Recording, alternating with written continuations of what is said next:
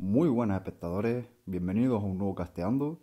En este caso voy a intentar castear New y Stay, la final de la primera mundial que ha habido, que solo está en inglés. Espero que me salga bien y será de una. Yo voy a verlo igual que ustedes, de una. No me lo he visto antes. Lo dejé grabando y ahora voy a verlo por primera vez. He dejado las voces originales a un, un volumen un poquito más bajo pero para que se puedan escuchar los tiroteos cuando son el momento, que ellos se callan cuando es el tiroteo y bueno, mientras tanto comentaré yo. Y comienza la partida, parece que todo está tranquilito, todos han caído de una forma bastante ordenada y no parece que vaya a haber ningún enfrentamiento en los minutos iniciales. Podemos obtener aquí las imágenes de los diferentes equipos, unos en centro comercial, estamos jugando en Troy, mejor dicho, están jugando en Troy en modo extremo, con lo cual será una partida bastante rápida e intensa.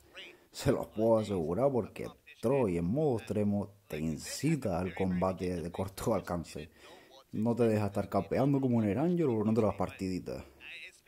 Bien, aquí tenemos lo típico, la típica escena de luteo por parte de todos los equipos. Nos muestra los dispositivos con los que está jugando, en este caso, este player y es una tablet de a cuatro dedos por lo que se puede ver.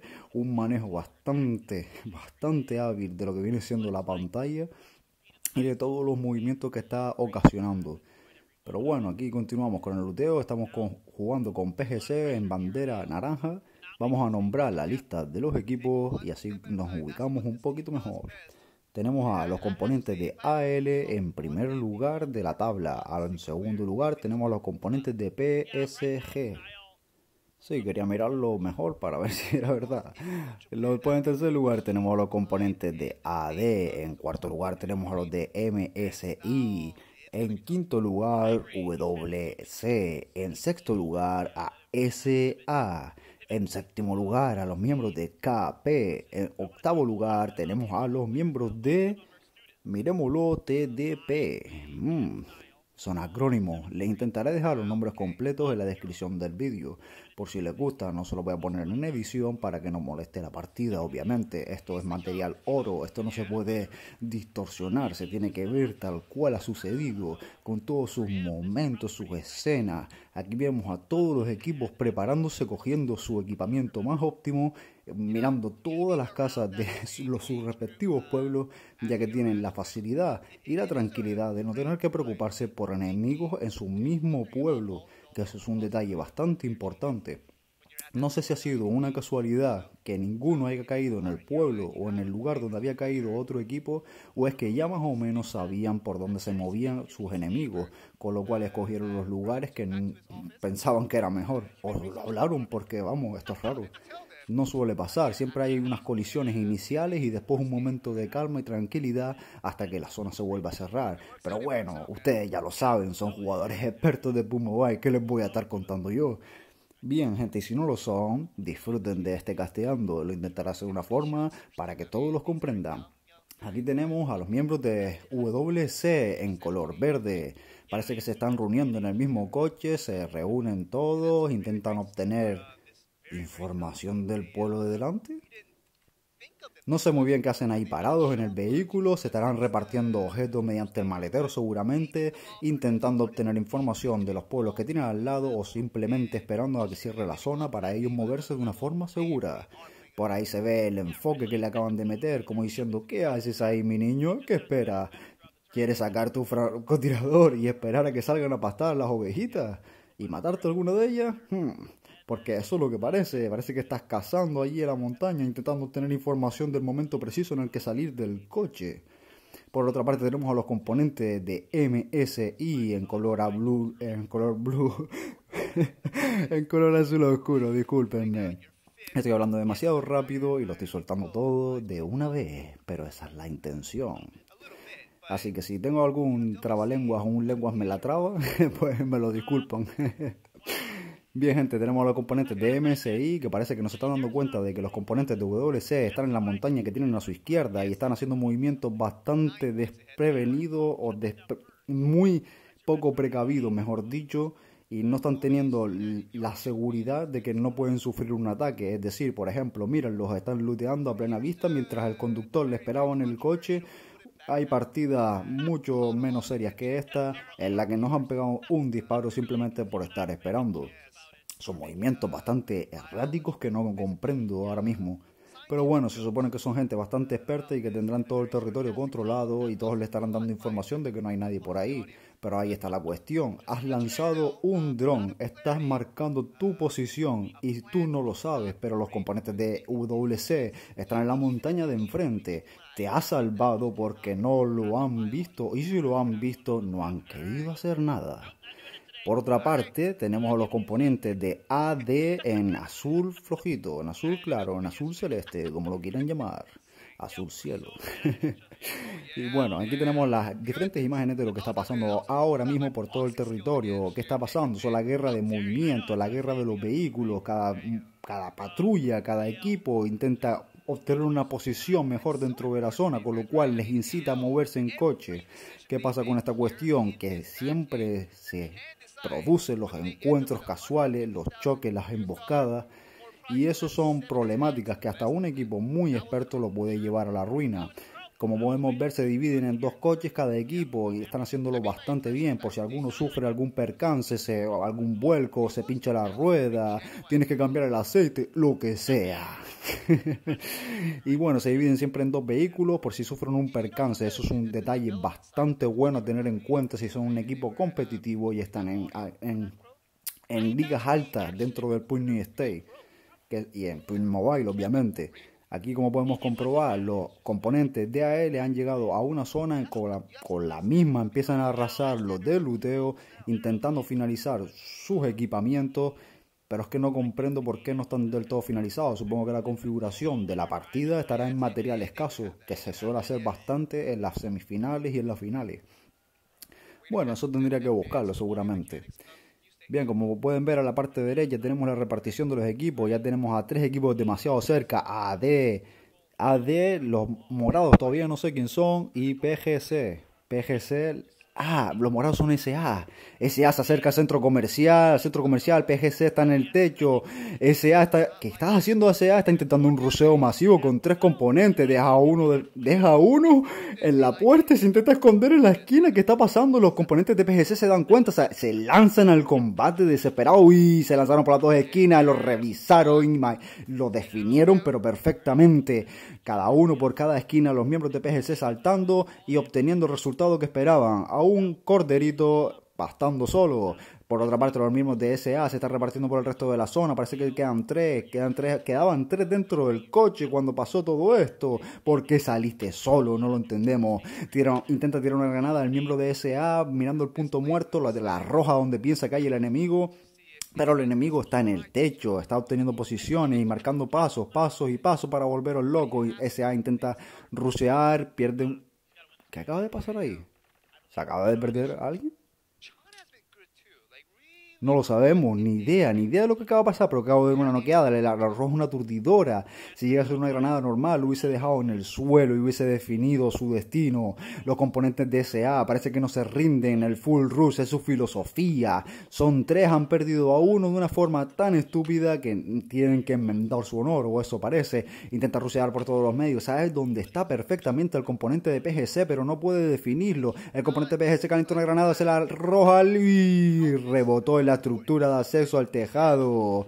Si no llega a tocar ese pequeño toque, lo hubiese definido al componente de SA que se atrevió demasiado. Por otra parte, tenemos a los miembros de MSI que están haciendo un full rush a los componentes de. Ni siquiera me da tiempo a ver el nombre, señores. TDP.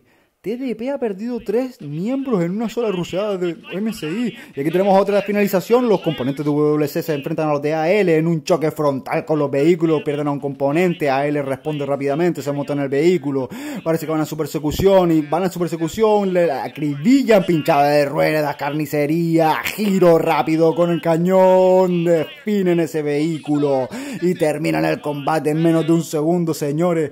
Pero esto que ha sido. Esto que ha sido. Tres combates al unísono en menos de 20 segundos. ¿Qué acaba de pasar aquí? El componente de PGC silencioso en el tejado a la espera de todo. Sabe que los componentes de SA le están esperando, pero uy, pierde un componente de SA por atrevido, solo por mirar. Se asomó y vio lo que no debía una bala en la frente. Sigue el tiroteo dentro del Center Mall. Parece que un equipo nuevo se está añadiendo al destino de esta. No, pasaron de largo directamente, le calienta la granada, se la arroja, le cae al lado, lo noquea y lo finaliza. Pero ¿qué está pasando aquí, señores?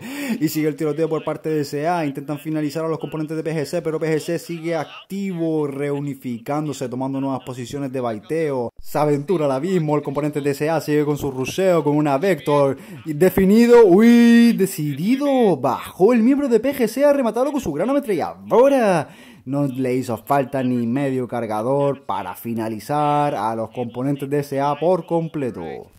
Continúa la batalla y nos cambian de plano y nos ponen con AL patrullando el borde exterior del círculo final. Como pueden comprobar, AL no se da por vencido y sigue intentando cazar a todo aquel desprevenido. También tenemos a los componentes de AD intentando reposicionarse, buscando una nueva zona por lo que se puede ver.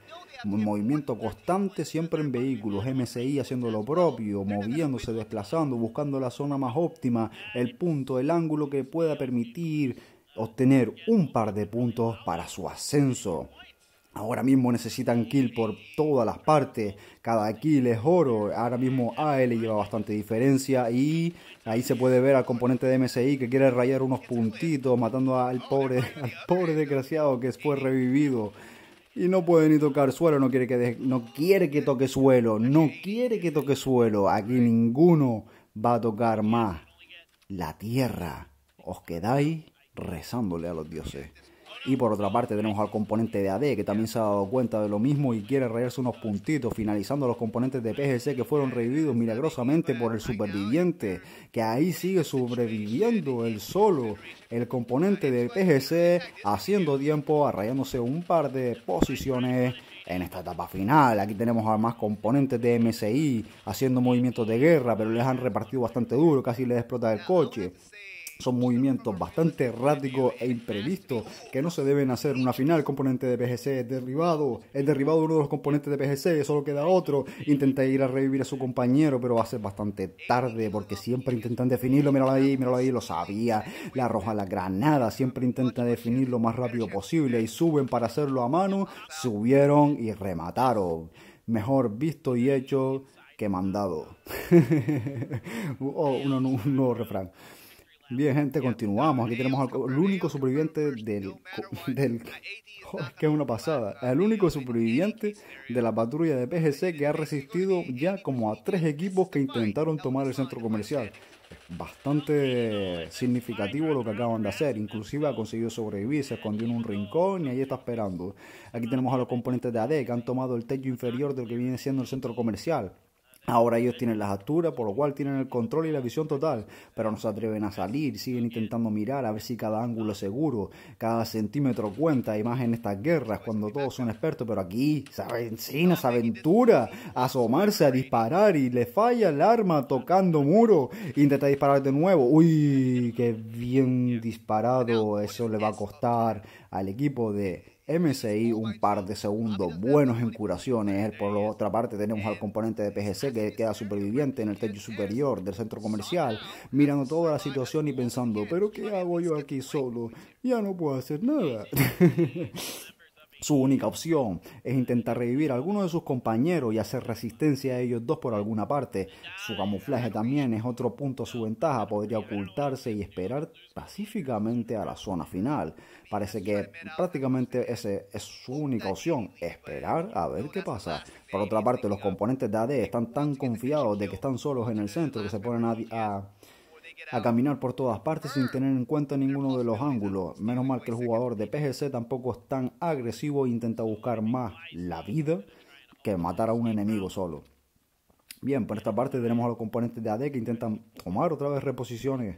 Las mismas posiciones después de haber comprobado la parte baja de su propio edificio son bastante buenas técnicas, siempre intentando revisar si hay alguien escondido, pero se les olvida que los lugares más lógicos son los más usados. Y se ponen a rebuscar en los lugares más ilógicos pensando que eso es lo que haría la gente buena. Pero como estamos viendo aquí, los comportamientos de estos players que son bastante expertos también son bastante erráticos, siendo pocos equipos los que mantienen el control como MSI y, TK, y a ver cuáles eran KP, sí, eran KP los que estaban disparando ahora. Habían tomado una posición más ventajosa para atacar al equipo de MSI que se había posicionado en unas casas. Esas son estrategias más comunes dentro de unas finales. Un posicionamiento más estático y un ruseo momentáneo, justo en el momento preciso cuando no quedas a alguien. Continuamos con la guerra de movimientos. Aquí tenemos a los componentes de AD que no se dan también por vencidos. Abandonan el centro comercial, dejando al componente de PGC solo, tranquilo y vivito. Aquí tenemos a los componentes de AL que se, se trincharon unas casas. Uy, noquea un componente de AD y deja inutilizado el vehículo al lado de la montaña para hacer enfrentamiento. Tienen el enfrentamiento delante de sus puertas provocado por ellos mismos. Ahora tendrán que resolverlo por sus propias cuentas. Aquí tenemos a los componentes de MSI arrasando como caballería, apareciendo de la nada, intentando definir algunos de los movimientos. Uy, pierden a, pierden a dos, pierden a tres, pierden a dos, pierden a dos. Queda solamente, oigan, solamente el conductor. El conductor ha conseguido finalizar a los componentes de... ¿De quién era ese equipo? Ay, mi madre. MSI Ay, MSI se acaba de aniquilar a AD y cayendo ellos también en combate por zona, ya que se quedaron en una situación bastante complicada, siendo acribillados por el resto de los, de los concursantes a este Battle Royale. Y aquí continuamos con PGC que ha conseguido revivir a uno de sus compañeros. El compañero cayó eficientemente al lado de su luteo y lo consigue recuperar prácticamente de una forma instantánea, pero está en una posición difícil. La zona se les ha echado encima, no tendrán curaciones y los combates cada vez serán más intensos. También están vigilados por todas partes, ya que a él son conscientes de que PGC está en ese lugar. Tienen todos los cálculos resueltos. A él, por su parte, mantiene una separación en la conquista de estos edificios por si alguno sufre un ruseo masivo, poder ser ayudado por el, eh, por el amigo que está en el edificio más próximo, manteniendo así las distancias ante las granadas y ruseos fuertes, como acabo de decir. A él, por su parte, sigue haciendo los movimientos más precisos que se están viendo en esta partida. Cada disparo de ellos parece una bala de tritanium que atraviesa lo que se le ponga por delante y te noquea de una. Aquí tenemos a los miembros de KP que se han posicionado en la montaña, los miembros de AL, como se puede ver, tienen un control absoluto del retroceso y casi de que definen todas las balas, haciendo que los miembros de K...